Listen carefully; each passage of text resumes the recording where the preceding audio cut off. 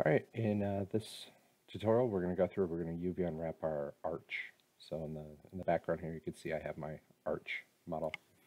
Uh, I also have two Explore windows, right? That's, that's what we call the little yellow folder down here. Sorry, uh, File Explorer. I have two File Explorer windows open. So uh, you'll see that I've made folders for the UV block, and then I have a separate folder for my arch. Um, if you right click, you can always go in here and say view large icons. It shows you the icons. The ones for 3ds Max have a little 3ds Max logo in the corner. And basically what I'm going to do is I'm going to I'm going to select, let's right click and say sort by type. And now I'm just going to select the brick and trim. I'm going to right click and copy them. And then over here in the arch folder, I'm going to right click and paste. All right, because I'm going to I'm going to use this brick and trim texture, I'm going to use them for my arch model as well. And so I have my most recent version of my arch is open. Let's close this uh, folder. And I'm just going to click here and I'm going to right click and copy the path, the location of where my arch is. All right, so let's do rendering, material editor, slate material editor. And now I'm just going to bring over a new multi-sub object. I'm going to bring over two standard legacy materials.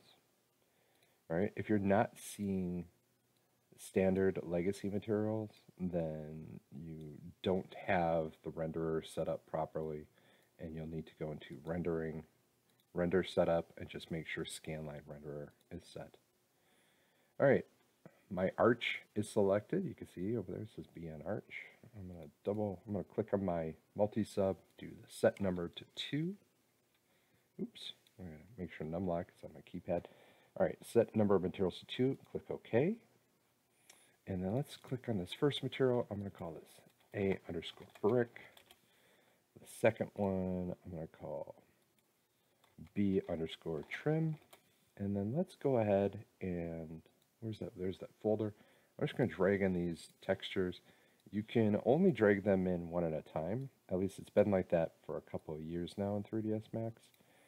Uh, so if you try and drag in multiples and it doesn't work, that's why.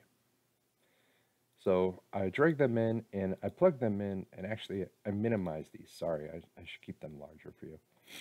Uh, I'm going to right click on my multi-sub and say layout children so it kind of organizes them. Let's move our arch out of the way. Okay, there you go. So I, I plugged my textures into diffuse color. That's the color that we always use. And then you can always make this smaller to make it a little bit more manageable for you. And then you can always organize by saying layout children.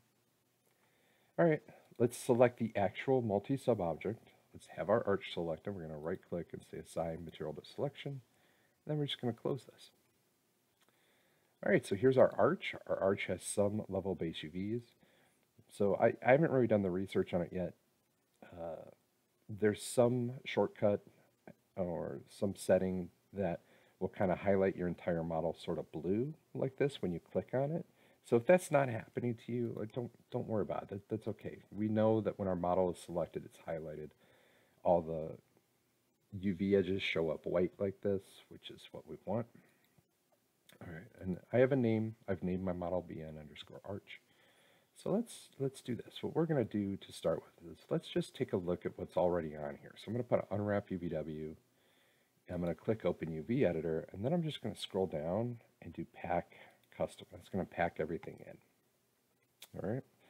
So we see that our, our UVs are pretty chaotic and that's because when you build a 3D model, the UVs are generated on the fly. When you first make something, like if you jump in here and make a sphere, it does auto-generate UV mapping coordinates, but as soon as you go into that object, and really any object, and start grabbing polygons, and start doing things like extrude, right, and start moving them around, those UVs are no longer, right, the UVs up on the part that existed before are still there, but it, it doesn't really know what to do with the new area yet. And that's where UV unwrapping comes in. That's, so that's what we're going to do. So let's uh, maximize this viewport. And so just to begin with, let's we don't really need that unwrap. I'm just going to do convert to edit poly. And what I'm going to do instead is put a UVW map on. And so the, the reason I'm actually properly starting this with UVW map is this is going to get us a clean basic set of UVs that we can go in and then tweak and adjust. So I'm just going to set it to box and then I'm going to square off the values. Now I know that my grid, I built this on a, a one meter grid and it takes up four of them, so it's 400 units. So let's just set the length, the width, and the height to 400 units. And then I'm going to do the same. I'm going to go into the gizmo, right? That's the sub-object of UVW map. And while I'm in move, I'm going to set my values to x and y 0, and then I want z at 200. I'm going to right click and say convert to edit poly. And so the reason I did that is because working in games, actually I want to undo that. The reason I set my gizmo to those specific dimensions of 4 meters squared and I adjust its position so it's centered on the model there is as I go through and build objects in my 3D world for my game, if I kind of set my textures to a basic UV tiling set, it'll keep them sort of consistently across them, at least as a, a baseline. So let's go in here and I'm actually going to change my UV tile here to 2. And I'm using tab to jump between U and V. And now I'm going to right click and say convert to edit poly. So now that, that's actually looking a little bit more interesting. Granted, it needs a lot more work, but you're, you're getting some of the general idea. So we don't all want all this to just be brick. So I'm going to go into element and I'm going to go over here to select object. And I'm going to select some things like this top part and actually I need to grab everything first and under polygon material IDs, if you find that rollout, I'm going to set ID to 1. And now I can go through and start setting some of these other elements to ID 2. And just be careful you're changing set ID and not select ID. Select ID is just a selection option, right? Set ID is the one that's going to be uh, where you actually set things. And we could actually, instead of going through and individually clicking and signing, we could probably just click on the main body here. I'm going to hold control and click on the two feet that it has and then do edit, select invert. And I'm going to set all those to ID2. There we go. So now we see we got some visual breakup on it and we see that we do have UV work that we need to do on the model. So let's, oh, I right clicked and I said convert to edit poly to bake that in as like a basic set of UVs. And we can, you know I put it on wrap on, but I don't want to do that. Here's the first thing I'm going to do. I'm going to double check to make sure that my model is zeroed out in the world. And so in case you haven't done it before, I'm going to copy the, name of my model. I'm going to go to box, keyboard entry. I'm going to make a 100 by 100 Right. On length, width, and height, I'm setting a value 100, hitting create. I'm making a box. I'm going to call this box BN arch. And then I'm going to convert to edit poly. I'm going to click attach. I'm going to attach my model to it. And I'm going to go here to element, click on the box and delete it. So a couple things that does. That makes sure that my, my arch, its axis is on X, Y, and Z. So when I use symmetry, it's going to behave the way I expect it to. Also, that gets rid of any scales that were on the model, which could cause really odd results that you would not expect when you go to unwrap UVW because unwrap UVW will will will will uh, deform itself based on the original scale, and so that could really throw things off. And so getting doing that box like that is a good way to kind of clean that up. An alternative method is you go to utilities, and if it's not right here as an option already, what you're looking for is reset XForm. You can click more to go through and find it. You can uh, also, there's a way to manage these to get them to show up. But basically, if you go into reset XForm and click reset selected, what that does is it removes any weird uh, scales you have on your model. And then you could just say collapse to, and that makes that permanent in there. So, all right, uh, here's what we're going to do. In order to make our lives easier, I'm going to switch to the top view here. And I'm just going to zoom out, and I'm going to select, let's go to wireframe here. And select all these polygons on the top and hit delete. And I'm going to select all these polygons over on the left and hit delete. And since we do have all this symmetry on our model, let's change this to perspective, orbit around, F3 to go to shaded. Our model's symmetrical. If we just go through and UV unwrap this, we're going to be perfectly fine. And so that's what we're going to do. Uh, it's just going to save us time. And so one thing I'm seeing here when I look at this, I see that there's some polygons on the top of the arch that we're not, we don't really need. So let's just double check to make sure we're getting rid of the right stuff. Go to display and turn on backface cull. All right. So I see this row of three polygons. I'm going to delete those. You're never going to see them. This one, big polygon, you're actually going to see that because that one, you see how it pops out over the ledge. But this one right here on the bottom of this main column part, you're not going to see that. So let's delete that. This little base over here on this piece, you're not going to see. So we'll delete that. And so we're getting rid of polygons that we don't, we're not going to see. And so getting rid of them just makes this process go a little bit smoother and easier. All right. So let's go in here now honestly, the base looks pretty good with those tiling frequencies. You, there's some stuff you could do where if you're going to unwrap UVW, open the UV editor, there's some things you could do where if you wanted to grab the vertex points on just this base portion, and what I do is I kind of have my edit UV over here in the corner and I have the model visible here. I'm just going to grab these UVs and slide them down a little bit just because I'm, what I'm trying to do is I'm just trying to get the ambient line here to kind of sit right at the base. So it looks like, hey, this stone block comes up and then it stops. And then you could conceivably do the same thing up here, where if you grab these vertex points, and then maybe drag those down. Although, you know what? That looks really dumb. I don't like that. Let's just undo that. But I, I do like moving this line. I think looks good. And I think the rest of it is just fine as it is. Like we don't need to tune any of, and when I say that, I, I'm really just focusing in on the main primary brick. So let's go here to all IDs and we're just going to switch to trim and we're going to focus in on the trim elements of our model first. So let's hit the, the roughest, the most difficult part of this first. I'm going to go into element right? And so I'm in Unwrap UVW. I'm going to go to Polygon. And this checkbox here is Select by Element. I'm just going to click on this portion, right? And so this is the this is this arched portion here. And I'm going to do a projection mapping on it. And I'm going to change the alignment, I think the Y. There you go. What I'm trying to do is just get it projected here from the front. Let's turn that off and I'm going to use this guy this is display only selected polygons. All right, here's the plan. Uh, we're going to unfold this. So I'm going to go and turn off, select by element. I'm going to go and here under peel, there's this guy, point-to-point -point seams. I'm going to click at this top point and come down to the bottom and then right-click to get out of there. If that doesn't work, that button can be a little bit tricky. It doesn't always work you could go into edge and try to click on one of these edges. If the entire thing is being selected when you do that, that means select by element is on, so just make sure you turn that off. But if I grab one edge and grab the entire loop, I can come over to peel, and the third option here is convert edge selection to seams.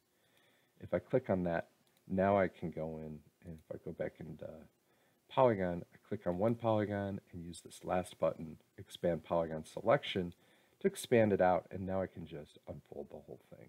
So I'm gonna, I'm gonna unfold it like that. See how it kind of peels it out? And then let's do tools, relax, start relax. And then let's just kind of rotate it. And it all depends on how fancy you want to get. Uh, you can go into edge and double click on an edge. Mm, there we go. And then I'm just going to do align horizontally. And so I'm just going to go through, double click on each ledge and do that. You can see it kind of starts to overlap on itself. And you're like, oh no, it's starting to get scary. But as long as you're, you're just kind of looking for these edges and lining them up, they can be kind of tricky to click on. You could always click on one and then just do select loop and then come up to that align. That works too. That may be easier. There we go.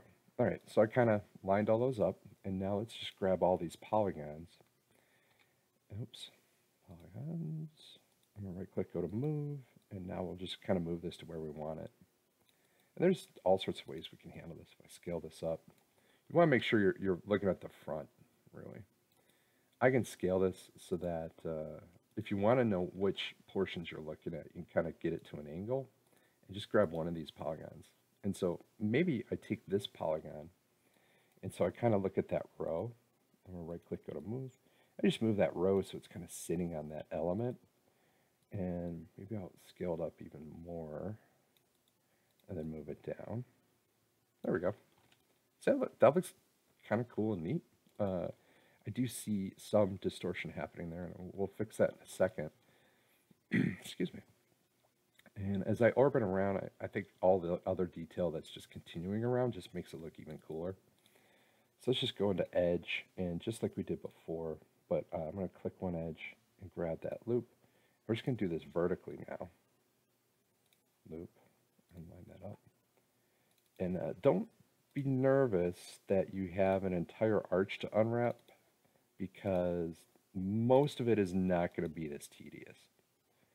Right, let's align that loop. And so we're we have all this really cool textural detail in this trim texture, and we're just bringing it into our model is all we're doing here. All right, see, that wasn't so bad. And now if we want, we could even go through and in polygon mode. One thing that's great is once you have it aligned where you want, you could switch to move horizontally only. And so if you wanted to kind of shift it a little bit so that the circle part wasn't getting cut off, you certainly could. You just got to keep in mind you have this one circle at the top. So maybe if you want to move it over, and you could even to a certain extent, you could even go into like freeform here. And just grab this edge, pull it over. Either way, if you wanted, to kind of fine tune it some. All right. But that's that's kind of the process. And you see there is a little bit of distortion happening on this, but because it's so detailed, I, I don't really think it's that bad. It doesn't bug me. Let's turn off display only selected because if you remember, we got an entire mesh here. Oops. Make sure that's turned on. All right. So we're on trim. Let's just go to brick and then we'll go back to trim. Uh, the next step is let's look at start looking at our different column elements. I'm going to go into, oops, I'm stay in polygon here and an element. I'm just going to click on a couple of these. And I'm just going to rotate them 90 degrees and then just cut, oops. I'm going to try and grab the handle. I'm just going to move them all. Oh, even though the handle's visible, I am constraining. So let's move to another one and kind of move it down. So it all depends on how much detail you want on there. If you want to, let's just grab all of them. I'm going to turn on to isolate it. And then I can just kind of move all these up. There we go. And I'm just going to kind of stack them on themselves because they're so tiny. I really don't want to spend too much time on them. Let's actually turn on select by element. I'm using Alt to deselect. I just kind of want to stack them all on top of themselves in this space. And then I'm going to actually just, oh, come on, man, select for me. There we go. I'm going to grab all them and just put them on this generic kind of concrete looking portion here. There we go. And maybe I'll even scale them so that they're not clipping that edge at all. And there we go. We can turn that off. All right, so this is this is looking pretty cool. Uh, here's what I'm going to do. We're kind of starting to get. Ah, you know what? I think I can finish it off. All right, so let's grab the top polygon. Oops, turn off select by element. Let's grab the top polygon, hold control, and click on this bottom one. This is for the main body here. We're just going to break them, and then I'm going to hit Oops, I don't want to do that. Move them over and stack them on top of themselves like all those other ones we were doing. I'm going to do the same thing as before. I'm just going to move them up here. And I'm going to use freeform. And if that highlight keeps getting in your way, just go to preferences and turn off selection preview. If I go into select by element, there you go. I can come in here and kind of move that over, turn that off. There we go. Uh, the last step is just kind of all this detail that's up here. If I grab all that, uh, what I can do is just kind of move it to a spot where I kind of think it's looking pretty good. I could grab this edge. I'm holding the corner and dragging. so let's go into select by element and then I'm going to hold Alt and deselect those two top pieces I just moved. And you may have to turn off select by element when you do that. I'm going to hold Alt and drag. Oops, that's not it. Control and drag, and that will scale these in uniformly. And as long as it's just kind of focused on this one sort of detail section here, that'll probably be fine, at least for us to get started. Why don't we go to display only selected? There we go. So you can see we kind of have two groups. that's because the way the pack UV happens kind of separates stuff out. Uh, you know what? I'm going to do this differently. I'm going to just region select and grab all these guys. And I'm going to go into planar. And this time I'm going to use best angle. So it kind of does this weird, hey, look, it's grabbing everything. And now in edge, if we turn off, select by element, click and go space, I'm going to double click this edge here. And I'm going to convert edge selection to seams and go into polygon and just grab all these guys here. And I'm going to hit peel. And it's going to peel those two chunks just like we did with our column previously. I'm going to turn on select by element. I'm just going to rotate this. And I'm going to rotate this part just so that they're flat like this. And do tools, relax, start relax. There we go. And now I can take these two chunks and I'm just going to kind of move them so they're on top of each other here. There we go take those and move them up here to this sort of really detailed portion that I like, and then use freeform to just kind of adjust where they're sitting. And then I may even go further and let's turn off select by element and just grab like this chunk right here and maybe hit break so I can kind of take this chunk and holding control just kind of drag that down. And then take all of this up here Mm, let's see. Let's think this through. You know what I want to do? I'm going to break this up into some more sections. Oops. I'm going to take, grab all this, just drag this up, and then I'm going to grab this row here, which makes this section. I'm going to break it, move it down, then hold control and drag it up. So I have that detail in that one section. And then I'm just going to keep doing that with these kind of generalized sections, placing them and dragging them up. And this section here, I'm actually going to get onto this element. There we go. Kind of like that. All right. So now we have some nice detail elements. Let's turn all that off. Right click, convert that at poly. So if you'd like to get more detail on your column, you can, of course, go into these sections and you can unwrap them in the same way with the trim. But really to finish this off, we need to put on a symmetry and just make sure you turn off Z, but you turn on X and Y, but the Y you'll have to flip. And now you'll see you have it. You do notice you get this little bit of a butterfly effect on here. Uh, I'm going to right click, say convert that at poly. I wouldn't worry about that. Uh, what I'm going to do is just save this and you go ahead, get a screenshot, turn this in, and uh, you now have this unwrapped column. I'm going to make a second part to do a little bit of polish work though.